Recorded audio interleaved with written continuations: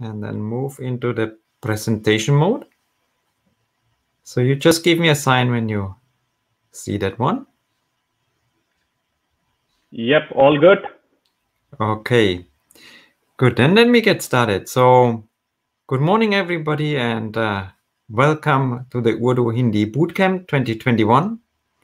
It's a pleasure to be here and uh, being part of this uh, great community. Yeah. So also from my side, a heartily welcome to this session and this event. So um, in this session, I will talk about electronic reporting um, and, and try to give you some tips and tricks yeah, from what I experience in some of the projects that I'm operating in. Yeah.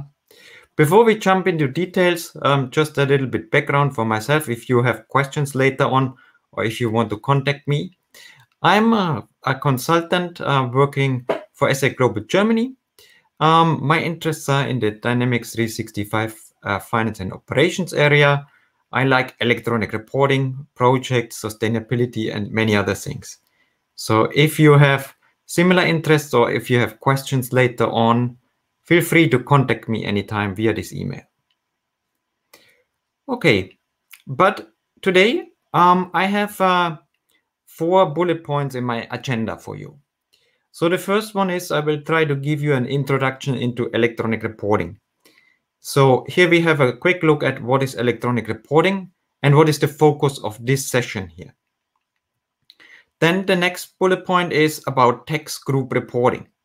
That's something you might have heard, um, and I will try to explain you the um, background and how you can use it. Then we will have a look at earned value analysis, and then there's a session for question and answers. Yeah? Okay, so let's get started with an introduction into electronic reporting. So what is electronic reporting? Well, if you open your Dynamics 365 uh, for finance and operations machine, then you typically see um, two workspaces. One is called business document management and the other one is electronic reporting. Yeah? And they're kind of related. But let's have a look first. So first, the first one, the business document management. This one deals with the design and management of business document. And all of that is without coding. So it's a similar approach to what you have heard possibly from the Power Platform um, sessions here, either yesterday or today and tomorrow. Uh, it's a low code, no code approach. On the right hand side, we have the electronic reporting workspace that I mentioned. And this one is often used, um, well, let's say to comply with legal regulations. So when it comes about value added tax statements, payment file formats, bank file formats, then you often end up in this electronic reporting workspace. Yeah? And of course, these two workspaces and functionalities are related to, it, to each other. Yeah? So um, the business document management um, is technically a part of this electronic reporting, but of course, nicer for the users to handle and use in practice.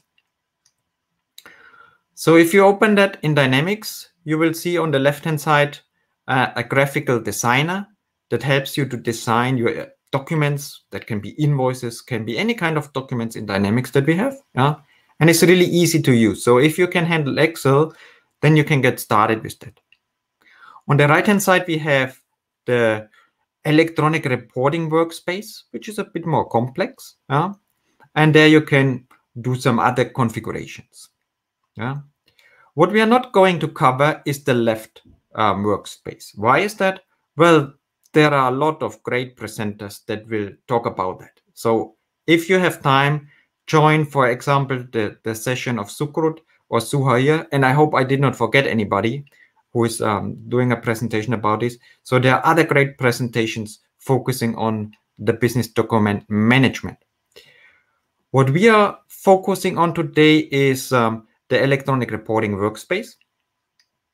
And here I try to use it in a way that um, I don't simply export data or I, I use file formats that Microsoft gives us.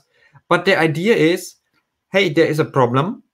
And what I can do with electronic reporting is to bridge specific gaps in in the system that we have huh? And to close it. So it's a kind of, I would say, a power platform like tool that helps us to overcome hurdles and to automate processes within Dynamics 365 F&O. So I have some examples here. So in the past, I used it for something like inventory write-offs. Yeah, when it comes to to um, reevaluating your inventory based, for example, on the inventory turn or something, then you can use this tool. Yeah?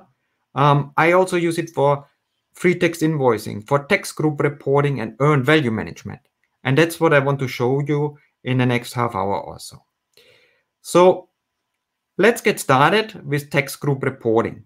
Yeah, and why is that an issue that requires um, electronic reporting? Here a short introduction.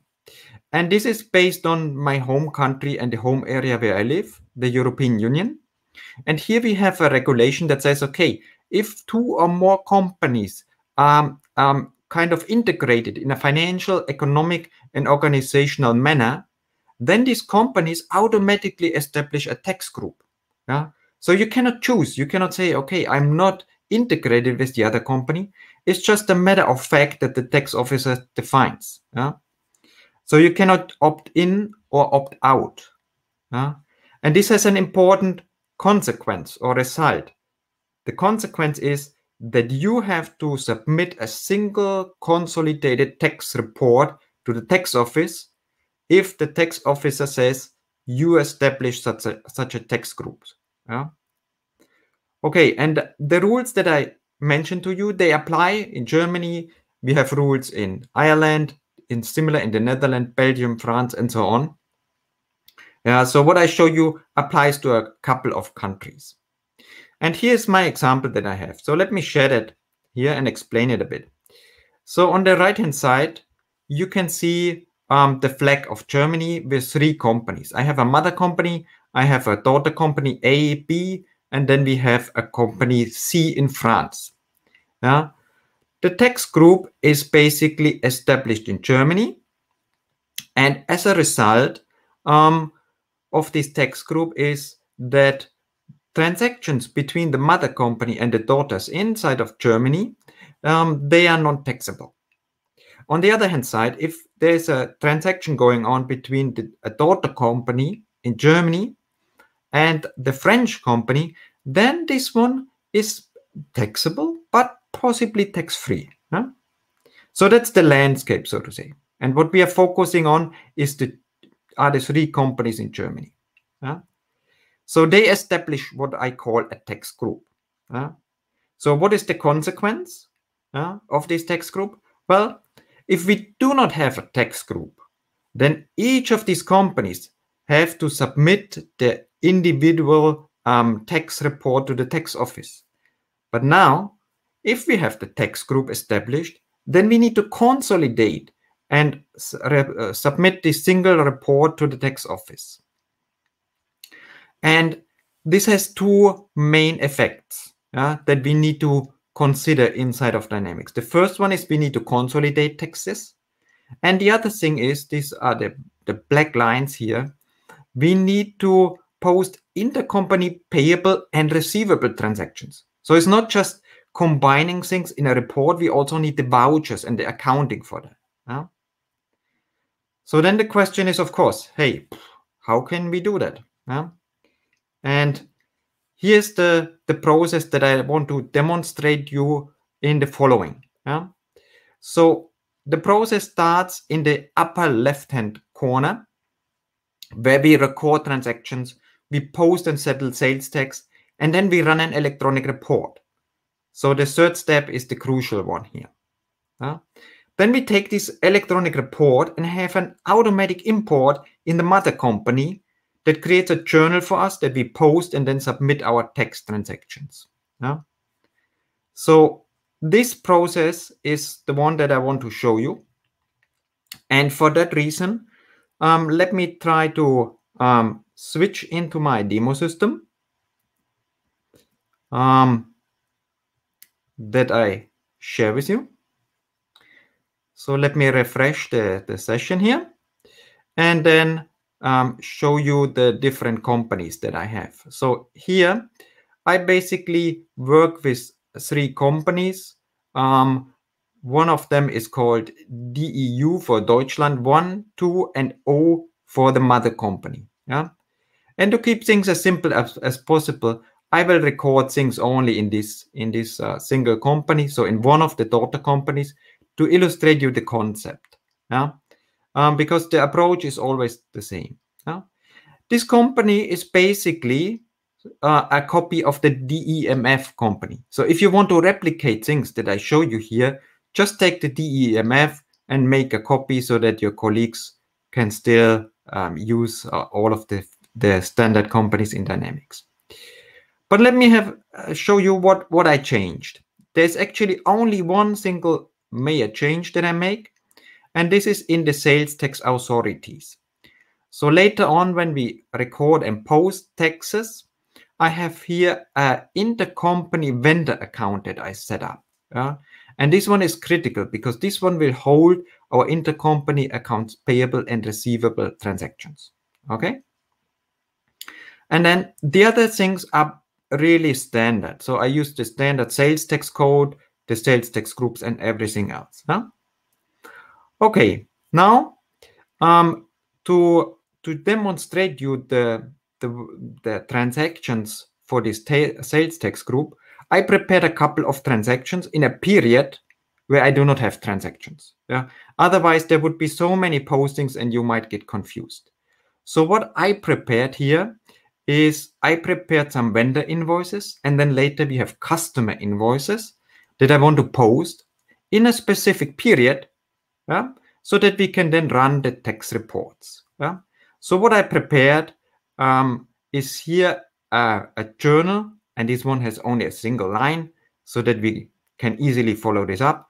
This one is an invoice from a company. I posted in March 2022. So don't be confused if I post something in the future. That is only because I want that um, we can really follow up the data. Huh? The invoice amount is 238. And if you're good in mathematics, you will quickly find out that with the German value added tax of 90%, the sales tax that we will, in this case, receive from the tax office is 38. Yeah? We are in a VAT system, in a value added tax system. So for vendor invoices that we receive, we pay 38 um, that, that we get back, that we get a refund. Huh? So let me post that one. And then the next step after posting this transaction is, of course, we also want to send invoices out to our customers. Yeah? For that one, I prepared a simple invoice. Yeah? Um, that's this one. It's a free text invoice, of course, to keep it as simple as possible. Yeah? Um, and again, here we have a tax on top of the $2,000. So the tax, if I open that, is 2000 times 19% here, 380. That's what we have to pay. Yeah. So if I post this tax or this invoice, there will be a tax posting. Yeah. And then we can report this to our tax authority. Okay, so the processes for the other invoices would be the same. So usually over the, the course of a month, uh, you have additional invoices, transactions, and so on. But at the end of the month, we usually go into our tax module, and then we have here settlement and posting of the sales tax. And that's what I'm trying to do. So I'm trying to do that for March 2022. So let me jump there. So the period here starts 1st of March, and I'm doing a monthly tax reporting. Huh? Um, if I hit OK, then I will get two things. The first thing is a report. That's just for information. I don't need this report. But what I need are the tax postings behind. And let me show you that. So we have here sales tax payments. And if I scroll down, at the bottom, you can see the one that I made for March. And if I click on the voucher, you can see a couple of things. So let me scroll to the right. You see that I have a receivable and that I have a payable. Huh? That's based on the invoices that I recorded. I have a rounding difference, but that doesn't matter. But the important thing here is on top. This is the intercompany um, payable or receivable account against our mother company. Yeah. So I have here the accounting done for my mother company. And uh, this small daughter company is then completed with the tax report that it has to do. Okay. So then the next step would be, of course, how can we get this data into our mother company so that we can report it to the tax office? Yeah? That's the big question. And to realize that, I created an electronic report. So let me quickly show that to you. Um, there's nothing magical behind that. It basically just extracts the data uh, from a single um, from a single data source. And the data source, this is something all of you know. This is the TaxTrans. So I take the TaxTrans table, group the records, and then I'm ready to export them. Huh? And actually, no user has to come in here. Why? Well, because you can automate the whole process. Yeah. I need to do that manually because this is a demo machine that is not running all the time. Yeah. And I'm shutting it down sometimes. But what I can do is I can run this export process that I show you um, in, in a second. I can run it in a regular basis based on a batch process. So for example, I can run this process um, on the 5th of every month when I'm finished with my um, reporting and, and calculations. Yeah? And then the other thing is you need to define a date range. Yeah? I'm doing this manually here. Yeah. So I enter here um, 1st of March until 31st of March 22. Yeah. But if you know um, the standard filter and query language of Dynamics, you know that you can define a date range here so that you do not have to do that. Yeah? Um, so all what I'm doing here is more or less for demonstration purposes. Yeah? But the important key here is in the middle, that destination that puts this report on um, SharePoint. So this process runs and generates a file on a SharePoint drive. And this SharePoint file will then be grabbed by another import process, which is importing the transactions into the mother company. So let me switch to that one. That is our um, yeah, consolidated company, so to say, that is doing the tax group reporting for us. Yeah? And what I'm doing here is the following. I have an import generated into a general ledger journal. So at the moment, there is nothing here. Why is that? Because, well, the batch import process runs, I would say, every two, three minutes. So that's the time we have to wait until this um, file is generated. So let's refresh it. Uh, so now you can see here is the file and inside are the, the results of our electronic report. Yeah? All of the data that you see inside here, they come from the electronic report. So either incoming or outgoing tax. And then here on the right hand side, you can see the item sales tax group and sales tax group that I used to post it. So I summarize and post the different transactions that I have. And also here, I use separate intercompany accounts. Yeah? These are two intercompany accounts that I use and that give me either the receivable or the payable from the perspective of the mother company. Yeah? So if I post this journal, I get two things. Number one is the intercompany payable or receivable. And number two is I get the tax transactions posted. And this allows me then to run the consolidated tax report. Yeah? Because you have to imagine that I get all of these journals created by the different um, daughter companies that I have. Yeah, so I do not have only one, but two, three, four, or five, probably. And once they are posted, I can come in here and then do the consolidated tax reporting just as you do it in the standard tax module. Yeah. So here in this tax module, my sales tax authority is actually my what is called here Finanzamt Berlin. This is the tax office in Berlin.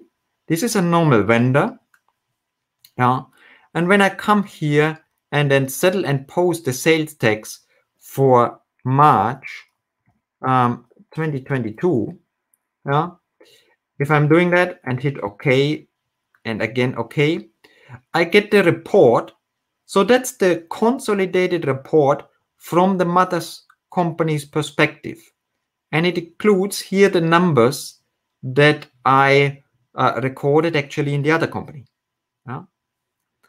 Um, so this is the report I can submit to my tax office uh, in Berlin in this case. And then also, if we look at the sales tax payments, we have here the voucher generated that cleans the tax accounts at the mother company level and then posts a liability against the Finanzamt Berlin. So if we click on transaction origin, you can see here, that's actually what we want to achieve. Yeah? And this was the process just in a nutshell. Yeah? So the key here is that with electronic reporting, you can you can kind of realize this consolidated tax reporting because this is something we do not have in the standard application.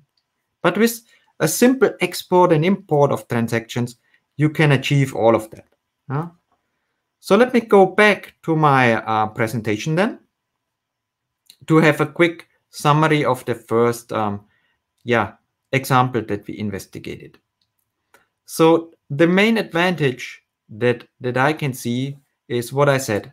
Electronic reporting is a standard tool yeah, there is a low code, no code approach. It's really just knowing where to extract the data. It works out of the box with SharePoint, Excel, and so on. And it can help you to find a workaround and save you a lot of time and money compared to making system adjustments. Huh? Because the, the example that I showed you, I've seen a couple of implementations where companies adjusted that um, and spend a lot of money. But with electronic reporting, you can do that out of the box. Okay, then that was the first example that I had for you. Another example is what I call earned value management. Uh, this is also something that you might experience in, uh, in practice. And it's just another idea uh, that, that should give you a kind of impression what can be done with this electronic reporting and how powerful this tool is. Yeah? So let me give you the background here. And the problem that, that you see if you work with the standard Dynamics 365 project module um, is that it does not ship with an out-of-the-box earned value analysis tool. Yeah? It doesn't matter whether you use the um, project operations um, project module or whether you use the one that is the part of um, the finance and operation project module, there is no out-of-the-box earned value report or analysis tool available. Well, there are some workarounds possible. Yeah? One of the workarounds is you can modify the standard posting logic. So if you tweak around the accounting, you can kind of realize a kind of earned value posting, I would say. Yeah? That is one possibility. The other one is you can, of course, use BI. Yeah? But I said, okay, um, if you use the first workaround to modify the standard posting logic, then nobody will understand this kind of accounting. Yeah?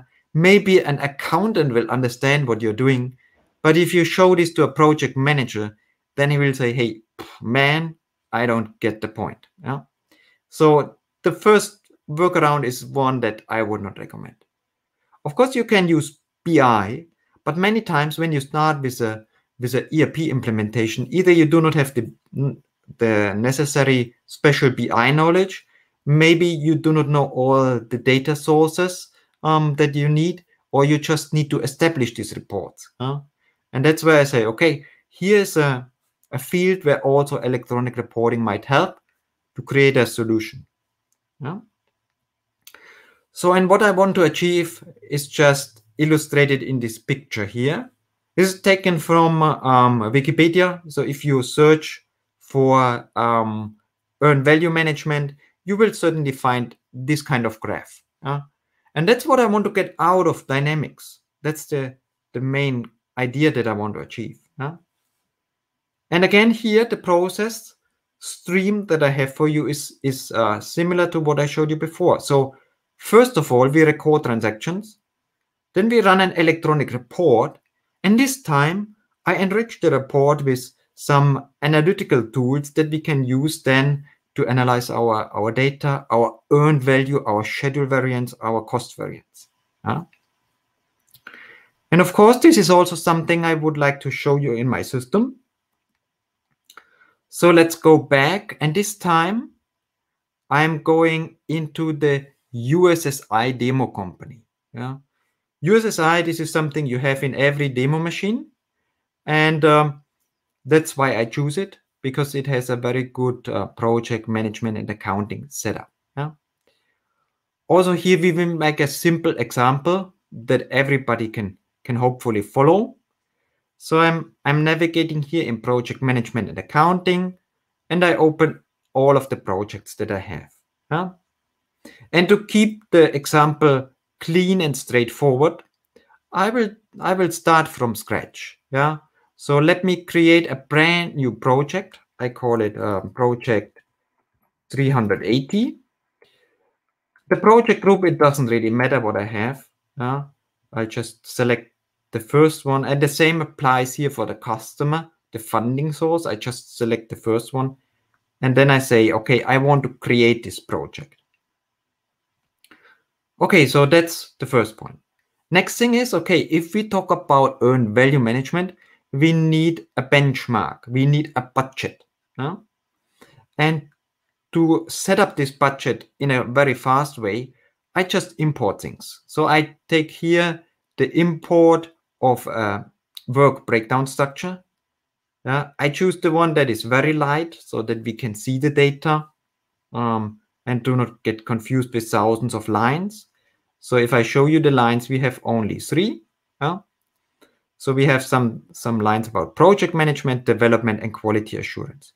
And just note that the calendars in my environment are set up in a way that it notice today is a, a weekend uh, and there is no working day. But let us change that. I uh, want that we start already in July so that you can see how the budget is spread over different months. Yeah? So I started here, this, I set the start date to um, end of July, and then we have data um, in different periods. Yeah? Of course, here you see the scheduling part. There's also a cost estimate part. And if you look at this, then you can see, okay, the total expected cost of this project is around $112,800. So that's what I want to have as my budget. So I publish that. And then the next step would be to copy this work breakdown structure into my budget. So this is also a standard process. I'm clicking here. I say, I want to import my work breakdown structure estimates into the budget and I select here a different forecast model. Will be important later on when we analyze the data. So let me hit OK here. What happens is the data are imported and if you scroll down, you can see here the total original budget amount that we saw. Now the next step would be to submit this into the workflow and then just wait until the workflow is completed. Yeah? Another thing that happened in the background is that the project budget was copied into the forecast. So if you open the forecast, you can see here the original forecast model that I have. And that will be important. Yeah? So now I'm basically ready to go. I can now record transactions for my project. Yeah? And to do that, I need to change the project stage. So let me switch that to released. And then I can record, let's say, some hours. I can also record expenses and item transactions. But let's keep it easy so that we can calculate and see the data that we have. Yeah? So let's say I just record some hours for project management. And to keep it as simple as possible, I, I record 30 hours. The total quantity is 600. 30 hours should be easy to calculate is 5%. Yeah? So if I post that, then we get a voucher created and then we can also check the progress of our project. Yeah? So the voucher can be found in the posted transactions. There you just see a kind of accounting like um, result with some um, dollar values. Yeah?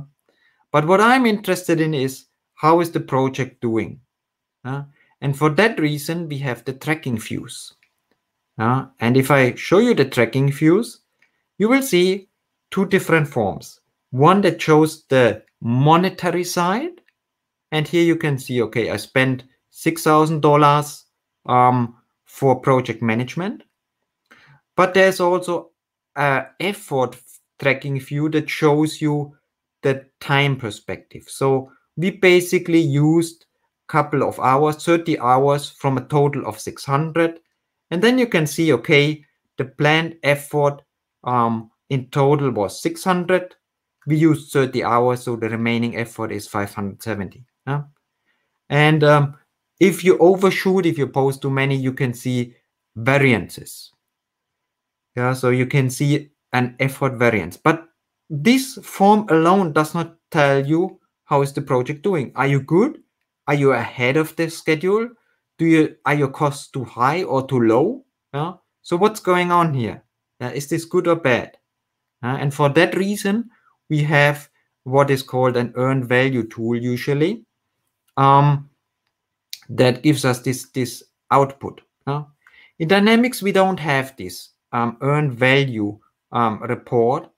What goes into this direction is the cost control. So let me quickly show you that, then we can compare the data. So if I calculate here the data for the overall project, you see here at the bottom what is called a variance based on quantity and on the price. Yeah?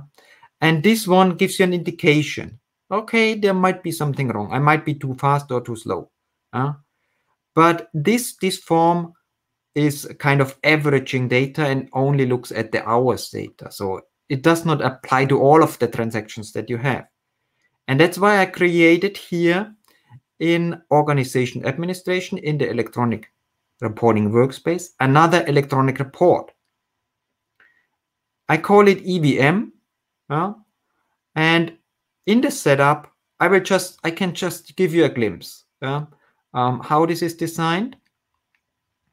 And it basically makes use of two tables. One is the project trans posting cube, and the other one is the project trans budget cube. It's not a cube, it's basically a table that is automatically filled. So there's no processing or something behind. Yeah? And then if you have this set up, and I can share that with you if you want, then you can run the report either manually yeah, or on a regular basis. Yeah. Uh, you can run the report for all of your projects or you can run it for a specific one. And I tested this this morning yeah, with a similar project. So I selected this one that we can focus really on the example. And the key what I have here is that we have a, a reference to the original forecast model. That will be important. So let me run the report and show you the outcome. Uh, and the outcome can be um, an email that is sent to a manager. It can be an Excel sheet that you see on the screen, like me here. Or you can put it on SharePoint and, and share it with, with other colleagues that you have. Yeah. So here you see the raw data. But what I want to share with you is this embedded pivot table. Yeah. So if you export the data and refresh it, then you can see what I recorded. Yeah, in a tabular manner and also in a graphical manner. And this, this kind of report shows you then, okay, what is the budget that we have for the different periods? So what is the budget for July, August, September, October, and whatever you have, what are the actual costs and what is the percentage of completion? And based on that, the electronic report can calculate for you what is the earned value, what is the cost and schedule variance. Huh? That's pretty easy because you are the master of the electronic report. You can define how the percentage of completion is calculated and how. Huh? Let us make a small variation. Huh? Let us say, okay, we have a change request. The customer wants to have a change. So what we can do is we can go back into our um, Dynamics application and then implement this change request from, from a planning perspective. Huh? So let me go back to my project and then implement this change request. And to keep things easy and uh, straightforward, I'm doing this in a way that I adjust my work breakdown structure just to because it allows me to copy things quickly. Yeah? There are many ways how you can implement change requests. I just show you one of them. Yeah. So let's say um, here we have another task. Yeah. The customer asks for some additional training, let's say. Yeah. Let's say um, 50 hours maybe. And the training must be done after the quality assurance is, is completed. So with this change, if I publish that, we have now 650 hours. And from a monetary perspective, um, the costs increased from 112,000 to 122,000. So it's 10,000 more. It's pretty easy to follow up this number. And then the next thing that you do is we need to show the system also from a budget um, perspective that there is a change. And to do that, we have here in the budgeting functionality a feature that allows us to implement a change request. So this is the first change request that we are doing. Huh? And what allows this, this feature allows me to do is I can say, okay, I import it again from my work breakdown structure. But this time, and that's important, I use the total forecast model. So let's import that and say yes. And then you see the change here already. The difference is 10,000. And if you scroll down, the new total budget is 122,000. So what we're doing here is we just send it into the workflow, submit it, and then wait for the workflow to complete. Okay, so that's it from a monetary or budget perspective, what we have to do. Also here a small hint, in the forecast form, we now see here the four different lines um, that give us this new um, budget amount because that's important because that's now our new benchmark. Yeah. So you can run your earned value analysis against the original one or against the adjusted one. Yeah. And the way how to do that is easy. Yeah. If we go back to our electronic report, yeah, then we are here again. We can run it.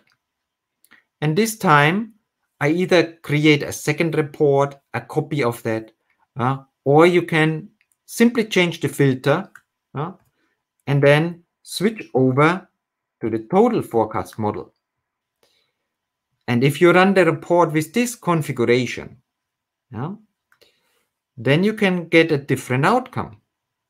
So let me enable the editing and then go to my screen here and refresh the data. And then you see here the additional line that we have, the different percentage of completion that we have, and the different benchmark. So now our benchmark is not the original budget, so to say, but the adjusted one. And that is all your decision. So you can decide, hey, what is the earned value calculation? What is my benchmark against I want to compare? You can either even create multiple of these charts and say, okay, I have a sheet that compares my percentage of completion and the earned value calculation and does the cost and schedule variance calculation against my original benchmark, the original budget, or against an adjusted one. So this is all a kind of flexibility that you that you get with this out of the box um, just by making use of this electronic reporting functionality. Yeah? So I can see really a lot of potential, not only for this kind of analysis, but for many others in a, in a very simple way um, that does not require coding or adjustments. So that's what I wanted to share with you. Yeah? Just another example, another application that or a gap in the system that can be closed by electronic reporting. So let me go back to my PowerPoint for some closing remarks that I have. Yeah. So if we take a step back uh, and look at the, the examples that we see here, again, I would say electronic reporting is a standard tool that helps us or can help us bridging system gaps and complete processes and automate processes wherever you want. Uh, it integrates nicely with Excel, PDF, SharePoint, emails, basically whatever you want, in a kind of low code, no code manner. And it gives you a kind of flexibility um, that let you be the master of the data and analyze it in a way that you want. So it doesn't matter if you want to compare the data against your original budget, a change budget, or some kind of forecast. Um, that's all your choice um, that you have. Okay, so that's it basically what I wanted to share with you.